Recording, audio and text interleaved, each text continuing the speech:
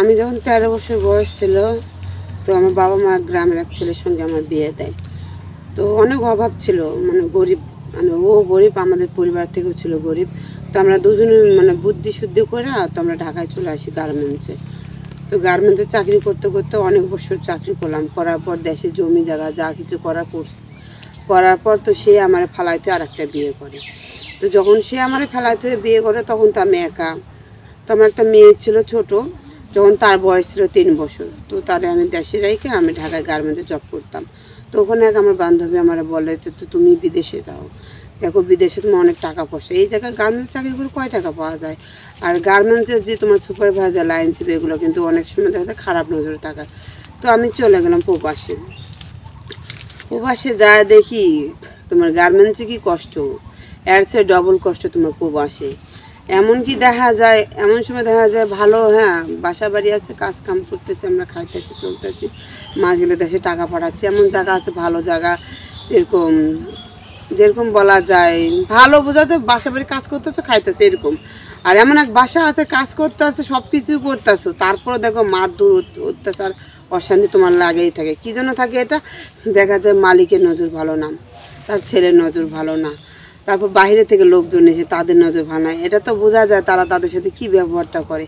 অনেকে বলে এটা মিথ্যা। না, এটা মিথ্যা না। আমি ছিলাম প্রবাসী, শুধু আমি জানি যে আমার সাথে যেগুলো যেগুলো তারা করেছে মানে আমার সাথে হয়েছে। এটা তো আমি জানি।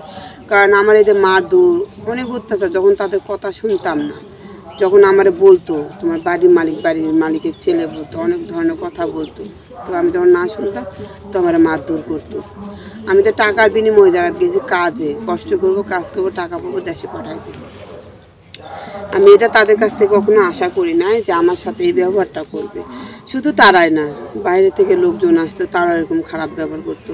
আশা করছি বন্ধুরা, আপনারা অবশ্যই বুঝছেন যে আমি কি বলতেছি, কোনটা বলতে যাচ্ছি তো অনেকে মা বোনেরা আছে, বলে যে না, এটা মিথ্যা কথা, এটা ভুয়া এসে না, এটা সত্য। আমি প্রবাসে ছিলাম সাত বছর, প্রবাস থেকে আমি চলে আসছি দুই, তিন মাস হয় বাংলাদেশে। তো আমি সেটা জানি, আর যারা বিদেশে যাইবেন, তারা যাচাই করবেন যে আপনি কোন ভিসায় যাইতেছেন, কোন জায়গায়, কোন কাজে যাইতেছেন। হ্যাঁ ভালো মন্দ আছে। অনেক দেখা যায়, অনেক মেয়েরা খারাপ জায়গাও কাজ করে। অনেক মেয়েরা দেখো, ভালো জায়গাও কাজ করে। ভালো মন্দ সব দুনিয়াতে আছে। কিন্তু বিদেশে আছে বেশি খারাপ জায়গা। তো যারা খারাপ কাজে যায়, তারা শুধু খারাপ জায়গায় পড়ে।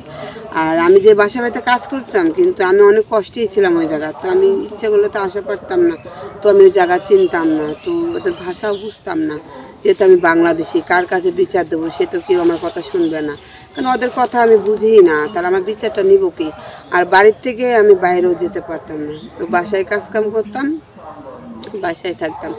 এই সাত বছর অনেক কষ্ট করা টাকা পয়সা ইনকাম করা আমি দেশে ফিরছি। আর কখনোই বাংলাদেশ থেকে বিদেশে আমি যাওয়ার চেষ্টা করব না। কারণ বিদেশে কী কী হয়, দেখেও আসলাম, শুনে আসলাম, নিজে কইরাও আসলাম ওই ওই জগৎটা কি? দেশে কষ্ট হোক, দুঃখ হোক, কষ্ট করেই থাকি, তাও অনেক শান্তি। চিন্তা করছি আবার গার্মেন্টসে জব করব, নতুন করে আমার জীবন শুরু করতেছি। তা আল্লাহ হাফিজ, আজকের মতন বিদায় নিলাম আমি। আল্লাহ হাফেজ। হ্যাঁ।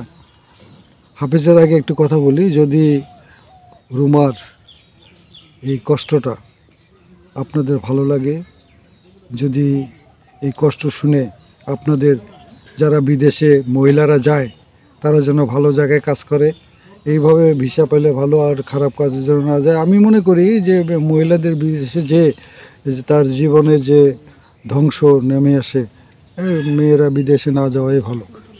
আর বিদেশে গেলে ভালো বিষয়ে যাবেন, খারাপ বিষয়ে যাবেন না। এই প্রত্যাশা রেখে আজকে আপনাদের কাছ থেকে বিদায় নিচ্ছি। আমি আব্দুল মান্নান, আবার আপনাদের সঙ্গে অন্য কোথাও দেখা হবে। খুদা হাফিজ।